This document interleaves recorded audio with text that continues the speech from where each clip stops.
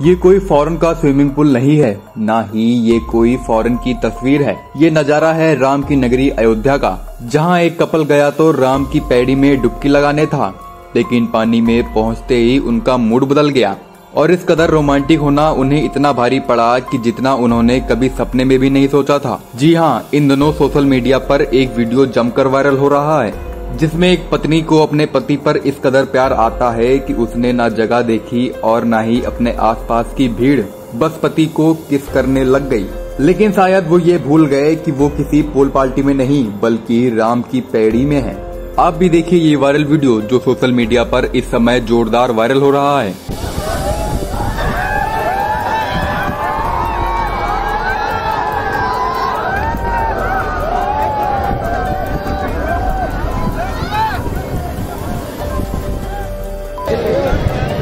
या परिवार नहीं है क्या कुछ हैं?